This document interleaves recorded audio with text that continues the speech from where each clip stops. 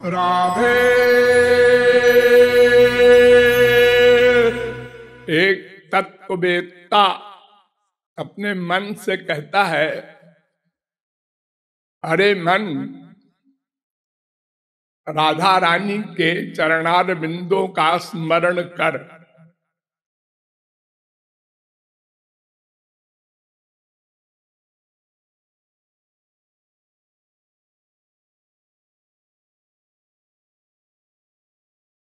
बोलना ये रचना का काम है। सुनना, ये कान का काम है। देखना, आँख का काम है। सूंघना, नासिका का काम है। स्पर्श करना, ये त्वचा का काम है। और स्मरण करना ये मन का काम है। लेकिन ये मन से श्रवण करने की बात करता है।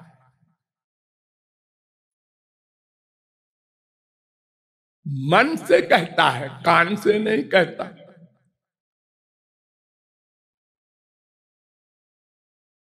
अगर कोई आँख से कहे ध्यान से हमारी बात सुनो तो भला आँख कहाँ सुनेगी? तो मन को स्मरण करने के लिए कहना, वो सुनेगा कैसे? उसका तो काम केवल स्मरण करना है। सुनना, देखना आदि नहीं है।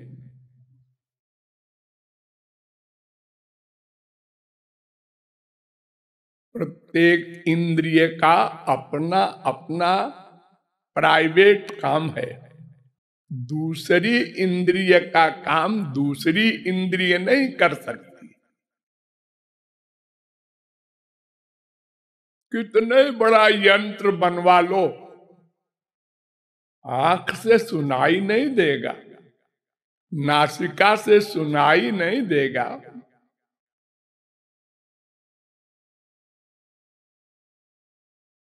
हाँ मोटी अकल में ऐसा ही है। लेकिन ऐसा है नहीं। मन ऐसी इंद्रिय है, जो सब इंद्रियों का काम करता है। सब इंद्रियाँ मन के अंतर्निहित हैं।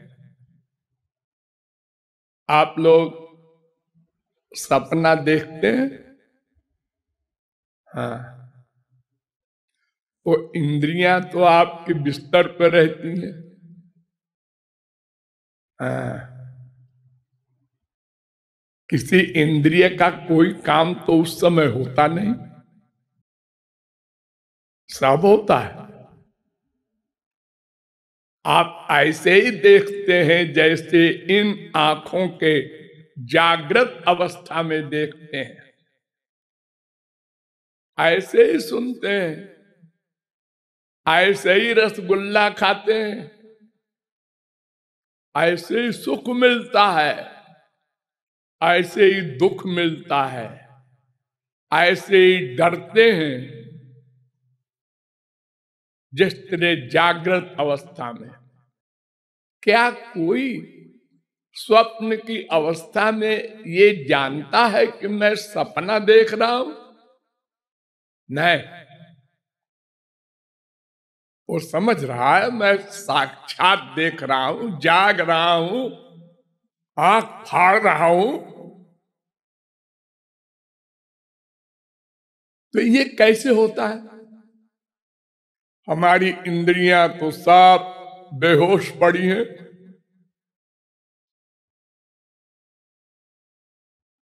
घर में चोरी हो रही है, हमको पता ही नहीं चला। और हम देख रहे थे, सुन रहे थे, सूंघ रहे थे। लेकिन इस संसार के बहिरंग रूप के अपरिचित थे। तो मन में अगर इंद्रियाँ न होती तो खाली सोचता मन। ये देखता, सुनता, सूंघता, सब इंद्रियों का विषय कैसे ग्रहण करता स्वप्न अवस्था में? और गधे की अकल से समझो। संसार में सब कहते हैं, मैंने आँखों से देखा।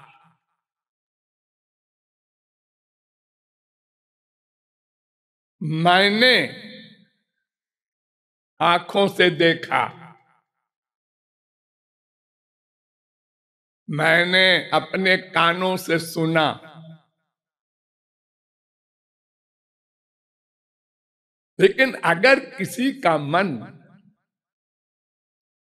और कहीं पर है। तो कान से सुना हुआ भी अनसुना हो जाता है, देखा हुआ भी अनदेखा हो जाता है।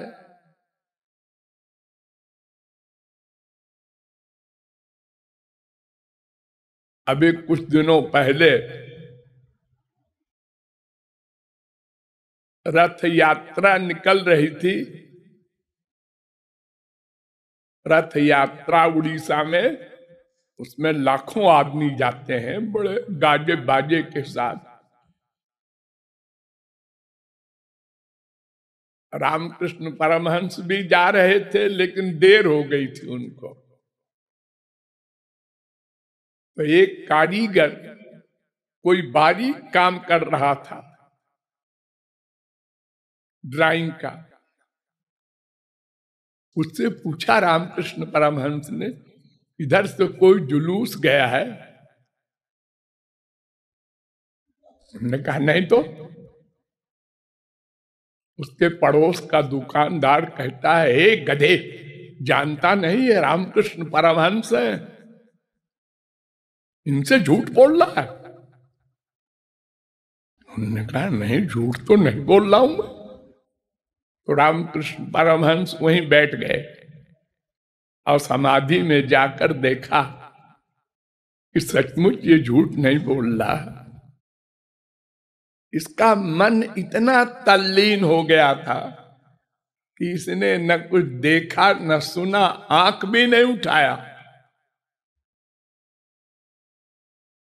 आप रोज अनुभव करते हैं अगर दाल में नमक दो दिन लगातार अधिक हो जाए तो पति कहता है, बीबी से आजकल मन कहाँ रहता है? मन कहाँ रहता है? रोज दाल में नमक बढ़ा देती है। यानी अगर मन कहीं और रहता है तो इंद्रियाँ काम नहीं करती। जागृत अवस्था में भी। प्रत्येक इंद्रिय मन को साथ लेकर काम करती है। अकेले नहीं करती। यानी इंद्रिया मन के बिना अपना काम नहीं करती। मन बिना इंद्रियों के अपना काम करता है। इसलिए आश्चर्य नहीं करना है कि मन कहा देखेगा, कहा सुनेगा। जो ये कह रहे हैं, ऐ मन, सुन। राधा रानी का स्मरण कर। तो मन ने सुना या अनसुना कर दिया। लेकिन सुना तब तो अनसुना कर दिया। अरे क्या राधा रानी राधा रानी करता रहता है दिन भर अपने बाल बच्चों को देखे भाले, काम करें कि? राधा रानी का बैठ के स्मरण करें?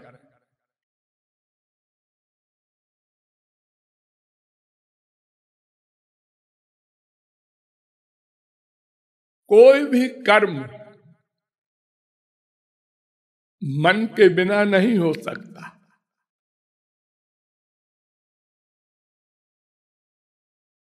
सब इंद्रियों के ऊपर मन गवर्नर है।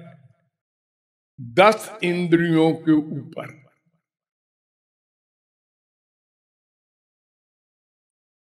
इंद्रिय परम मना। और सबसे बड़ी बात ये कि स्पिरिचुअल जगत में, भगवान के एरिया में मन के कर्म को ही कर्म माना जाता है। इस सिद्धांत समझ लीजिए। भगवान राम ने वशिष्ठ से जाकर उपदेश करने को कहा तो वशिष्ठ ने कहा, मनसैव कृतम राम न शरीर कृतम कृतम। शरीर का केवल किया हुआ कर्म। कर्म नहीं कहलाता, उसका बंधन भी नहीं होता। जब कर्म ही नहीं माना जाएगा तो बंधन क्यों होगा? मन का कर्म ही कर्म है। मन का कर्म वो बाहर अंधी दिखाई पड़ता। और शरीर का कर्म तो बाहर दिखाई पड़ता है। इसलिए हमारे संसार वाले शरीर के कर्म को कर्म मानते हैं। मन के कर्म को जानते ही नहीं तो मानेंगे क्या? अंदर हम किसी दुश्मन को बुलाए हैं, इसको दूध में जहर पिला देंगे, मर जाएगा। और बाहर से आइए आइए। आप तो कभी आते ही नहीं। दुनिया भर की एक्टिंग करता है, दूध पिलाता है, वो मर जाता है। अगर वो मन की बात जानता तो दूध न पीता। अरे देखो, बड़ी छोटी सी बात। इतिहास में पढ़ते पढ़ते हम लोग कितने वर्षों बीत गए कि बड़े बड़े महापुरुषों के दादा और स्वयं भगवान भी दिखाई पड़ता है कर्म कर रहे हैं। लेकिन फल नहीं भोगते। गीता के प्रारंभ में यही अर्जुन का प्रश्न था। सबको मारेंगे मारेंगे और पाप होगा, नरक मिलेगा। बड़ा लंबा चौड़ा लेक्चर दिया गीता का, आप लोग जानते हैं। भगवान ने समझाया कई बार तस्मात सर्वेशु कालेशु माँ मनुस्मर युद्ध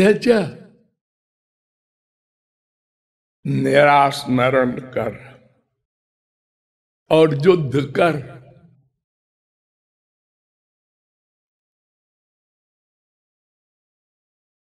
यानी मन अगर युद्ध में नहीं, अटैच्ड है यानी रागत द्वेष रहित है, वो मेरे पास है तो कर्म का फल नहीं मिलेगा क्योंकि वो कर्म ही नहीं है। वो एक्टिंग है। मनसा से युक्त जो कर्म होता है, अच्छी मनसा बुरी मनसा भावना, उसको कर्म कहते हैं। देखो पहली अप्रैल को हमारे संसार में तमाम नाटक होता है। मज़ाक किसे कहते हैं? परिहास, अप्रैल फूल। अब कोई किसी को फूल बनावे और वो मुकदमा दायर करे और कोर्ट में दूसरी पार्टी कह दे कि, हुजूर, कल पहली अप्रैल था ना तो मैंने फूल बनाया था। ओ अच्छा अच्छा अरे आ जाओ जी फालतू मुकदमा करने आया पहले अप्रैल को तो सब बनाते ही हैं एक दूसरे को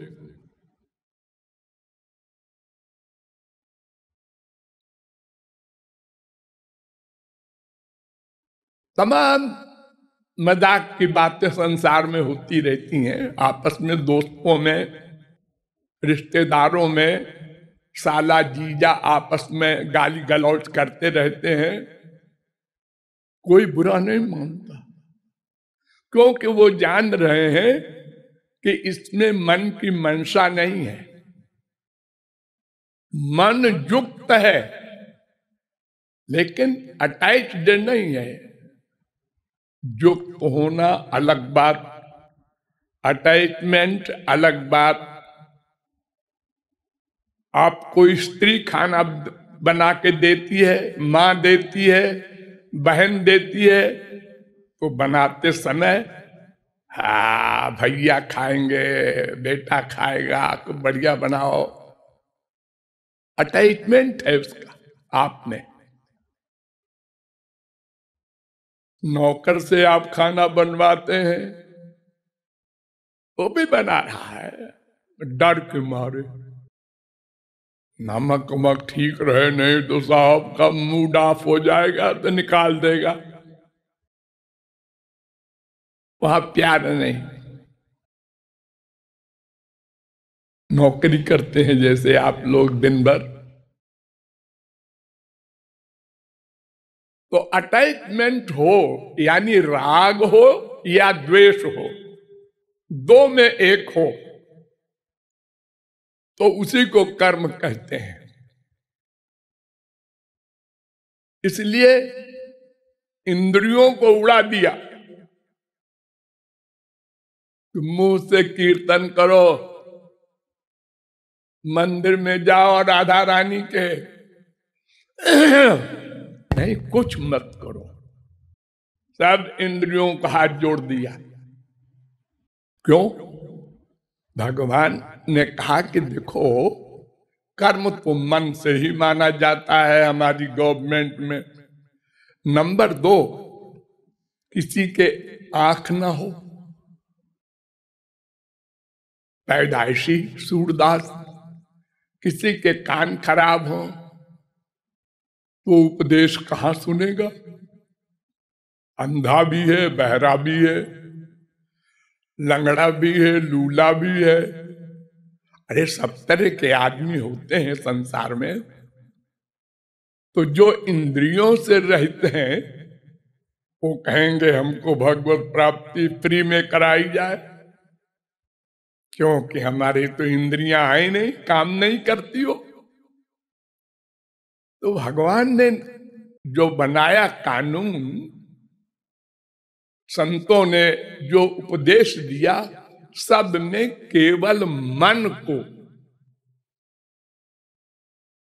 समझाया गया है कर्म के लिए। भक्ति हो, ज्ञान हो, वैराग्य हो, जो भी शब्द बोलो, वो मन को करना है। अरे दो ही काम तो करना है, कोई ज़्यादा काम तो है ही नहीं। संसार से उदासीन हो जाओ, भगवान में लगा दो।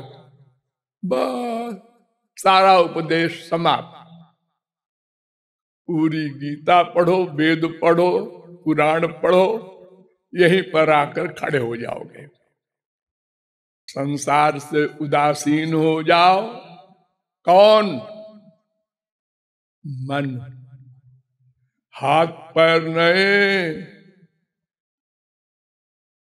कि बाहर से उदासीन हो गए और भीतर से गड़बड़ सोच रहे हैं। ऐसा नहीं, ये नहीं चलेगा।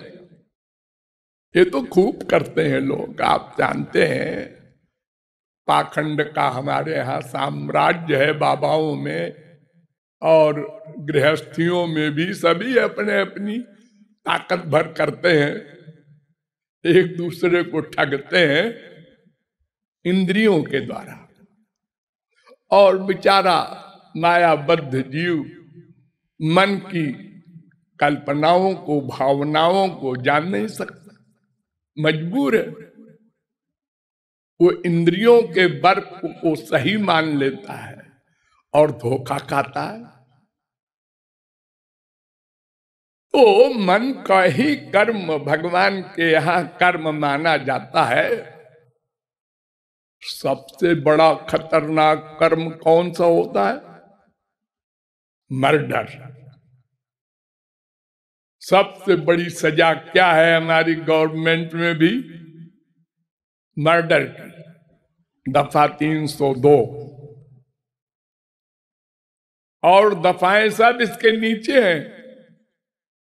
और तो बस सजा होगी। आजन्म कारावास हो चाहे दस बीस साल की हो।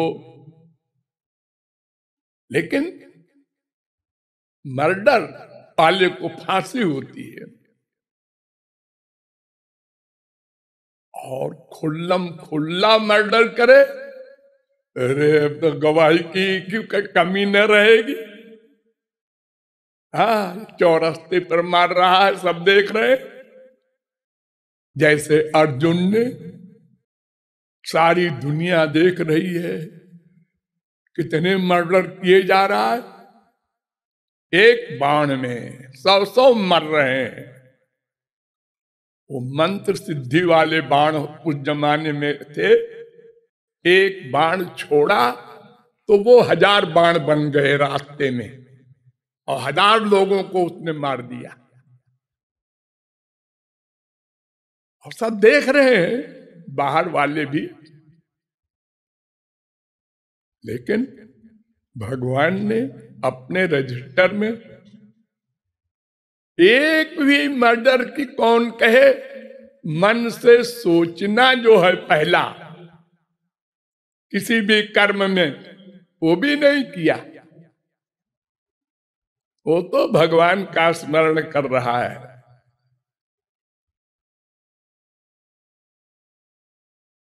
सोचने में तो बड़ा कठिन लगता है।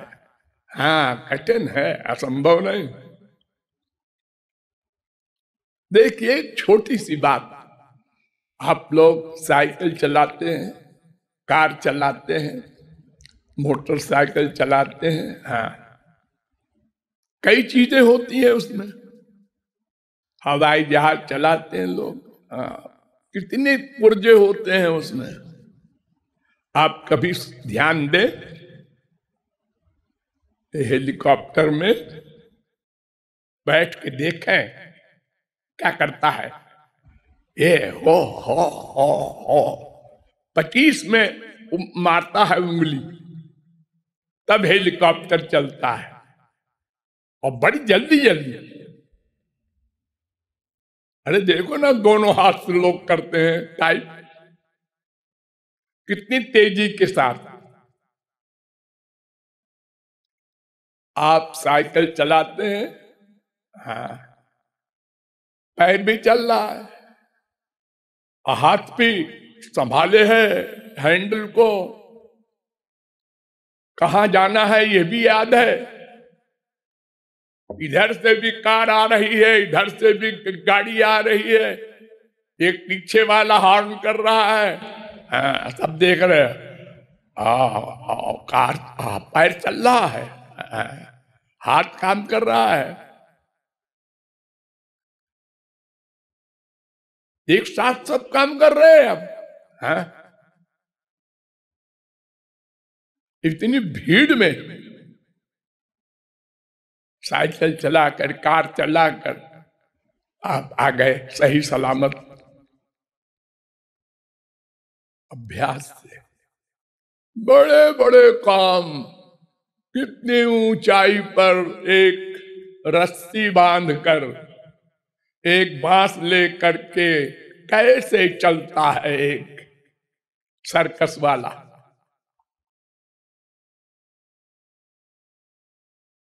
अगर आप कहें, हम भी चल सकते हैं, ये बड़े पहलवान हैं। अरे, गिरोगे, मर जाओगे।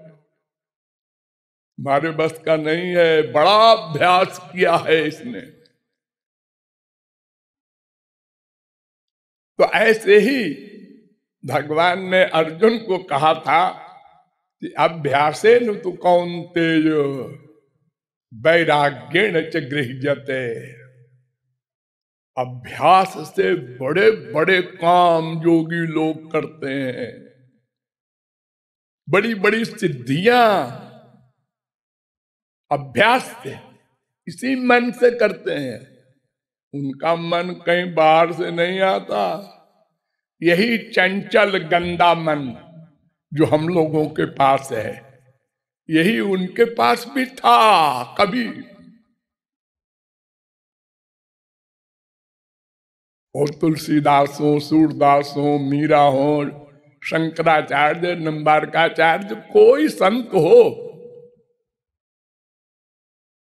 अरे तुलसीदास के समान तो कोई निंदनीय होगा ही नहीं हमारी दृष्टि से तो। क्यों? आप लोग जरा सोचिए कि ससुराल गए थे, अपनी बीबी के पास, और हड़बड़ी में इतनी व्याकुलता बीबी से मिलने की कि सांप को रस्ते मान लिया। सबसे पहली बात तो ये बताओ कि क्या तुलसीदास को ये मालूम नहीं है कि कोई भी मकान होगा, उसमें गेट तो होगी? बिना दरवाजे के तो कोई मकान नहीं होता। और फिर अपनी बीबी के पास जा रहे हैं, खटखटाना चाहिए। आवाज़ देंगे ज़ोर से। अरे खोलो। कोई चोरी तो है नहीं। दुराचार तो है नहीं।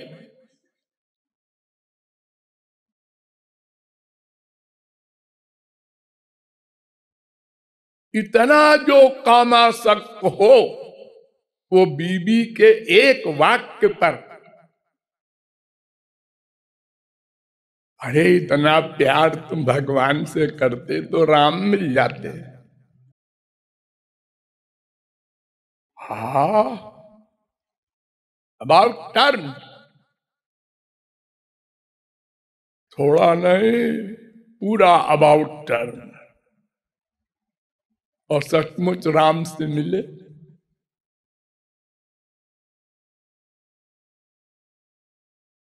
आप लोगों में क्या हम तो समझते हैं सारे? विश्व में ऐसा कोई आसक्त व्यक्ति नहीं होगा।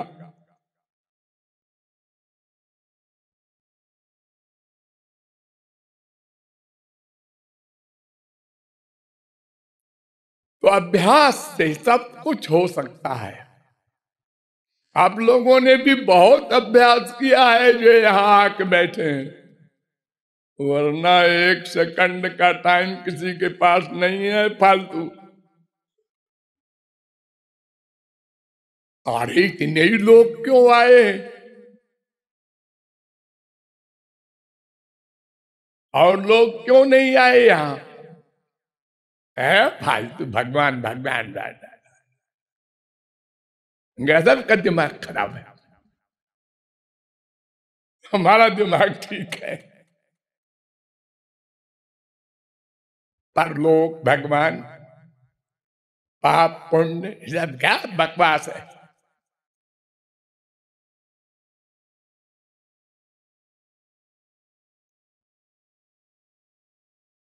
अब मरने के बाद जब दंड मिलेगा उनको तब, अरे मैंने तो ऐसा मान लिया था कि सब बकवास है।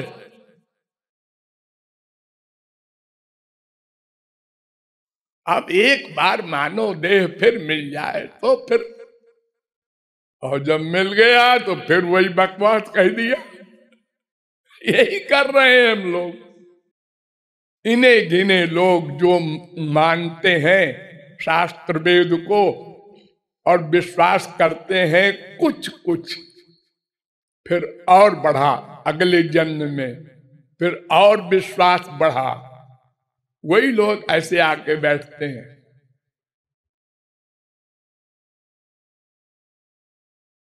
बहुत अधिक अभ्यास के द्वारा। तो अभ्यास से ही अर्जुन इतना बारीक काम कर रहा है कि अगर बाण को हम निशाना मान र, मार रहे हैं एक फरलांग दूर से वो अगर यहाँ पर एक तिल का अंतर हो जाए तो वहाँ पहुँचते पहुँचते चार फुट का अंतर हो जाएगा। इतना बारीक काम है धनुष बाण का। लेकिन वो बिल्कुल ठीक ठीक निशाना मार रहा है। अब गुस्सा नहीं कर रहा है। हम किसी को मारेंगे तो पहले गुस्सा करेंगे। दांत करेंगे आँख लाल करेंगे गाली देंगे, पहले ये सब हो जाएगा, उसके बाद मारेंगे। मर्डर ये तो अंतिम चीज़ है।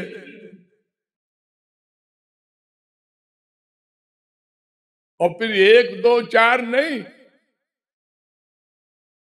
हज़ारों लाखों जो अर्जुन देख करके काँप गया। अरे, इन सबको मारूँगा मैं। हे भगवान, मैं नहीं मारूँगा, मैं युद्ध नहीं करूँगा नरक नरक चला जाऊँगा। वही अर्जुन मार रहा है। और भगवान देख रहे हैं। और सब ज़ीरो लिखे जा रहे हैं। कोई कर्म नहीं किया अर्जुन ने। कर्म। कर्म माने जिसका फल मिले, जो राग द्वेष हो। वो नहीं किया अर्जुन ने। सारा संसार गवाही दे रहा है, किया जी मैंने देखा तू क्या जाने। इसलिए मन से ही कहा जा रहा है, राधा रानी का स्मरण कर। और यही एक बात हमारे संपूर्ण विश्व में आज लोगों ने नहीं जाना। बड़ी बड़ी उपासना और भक्ति वगैरह की बातें लोग करते हैं, टाइम देते हैं। बड़े बड़े लोग हैं वे। सचमुच का जो अब अभ्यास करते हैं, परिश्रम करते हैं, लेकिन ये नहीं समझ पाए अभी तक कि केवल मन के स्मरण को ही भक्ति, उपासना आदि शब्दों से पुकारा जाता है। पाठ, पूजा, चारों धाम की मार्चिंग ये सब इंद्रियों की क्रियाओं को उपासना मानते हैं। संख्या पूरी कर रहे हैं। इतने पाठ कर लो, इतने जप कर लो।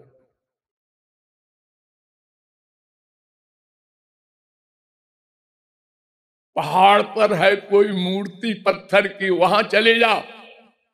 ये बगल में जो मंदिर है, वहाँ के तो है, भगवान भगवान ठीक है। लेकिन वो भगवान जो है बद्री नारायण वाले, वो बड़े भगवान है। आज तो साधन है सब लोग, जाके दस दिन में लौट आते हैं। प्राचीन काल में पैदल जाते थे। और दस, बीस सौ आदमी में वही मर जाते थे।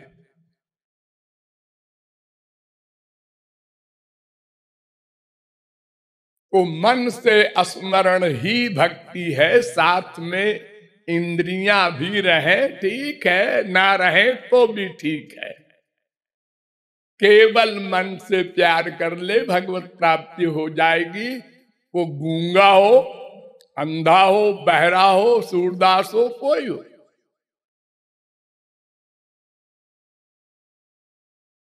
इसलिए हमको भी इसका अभ्यास करना चाहिए। हम नहीं करते, वही मन भूल जाता है। कीर्तन करते हैं, ठीक है? नथिंग से समथिंग अच्छा होता है। गधा गधा कहने से राधे राधे कहा तो थोड़ी भावना तो बनती है। लेकिन ये लापरवाही है।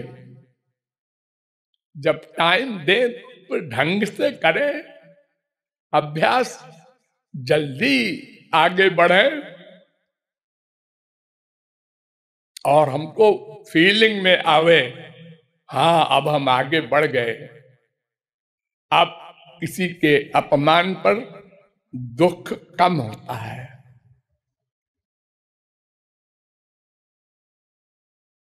ये जो दोष हैं, जिनके कारण हम भगवान के पास नहीं जा पाते, ये जानते हैं जो लोग कि हमने एक जन्म में एक पाप किया होगा तो भी अनंत पाप किए बैठे हैं।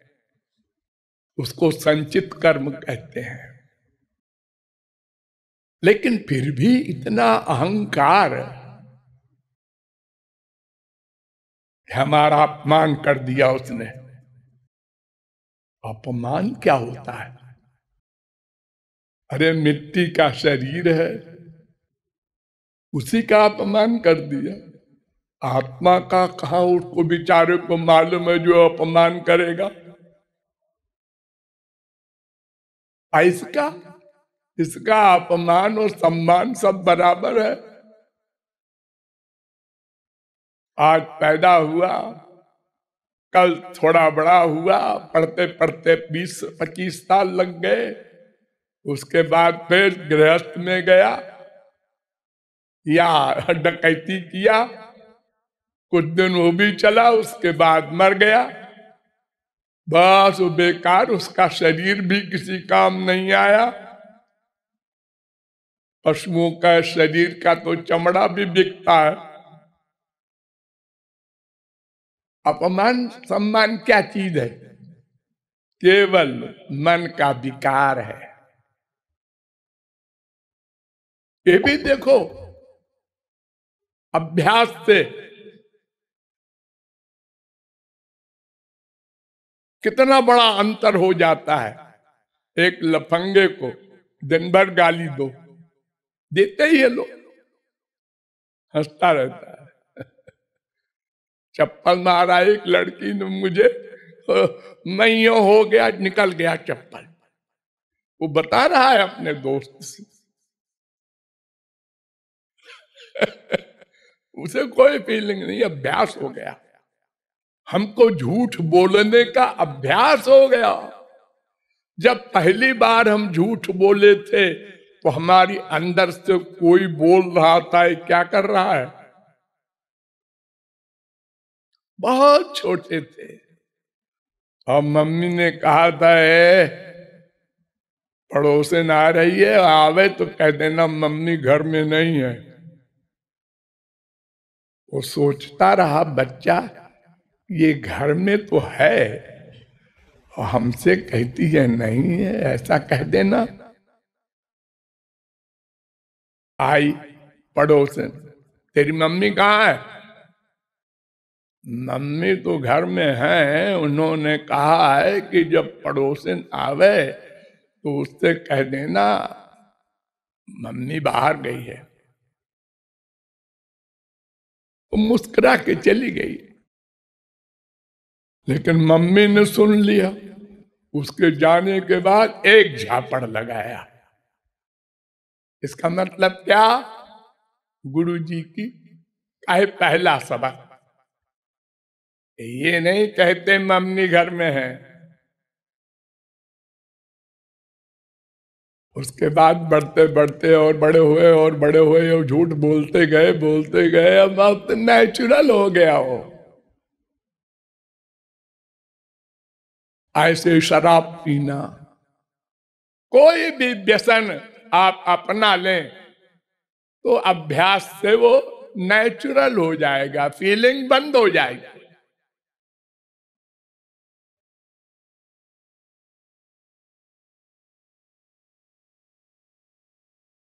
इसलिए मन से रूप ध्यान करने की बात जो मैं बार बार कहता हूँ, उस पर ध्यान देना चाहिए और अभ्यास करना चाहिए। माना कि पहले एकदम से रूप नहीं बनेगा, लेकिन बार बार बार बार पीछे पड़ जाओ तो फिर रूप ध्यान होने लगेगा तो फिर आनंद का अनुभव होने लगेगा।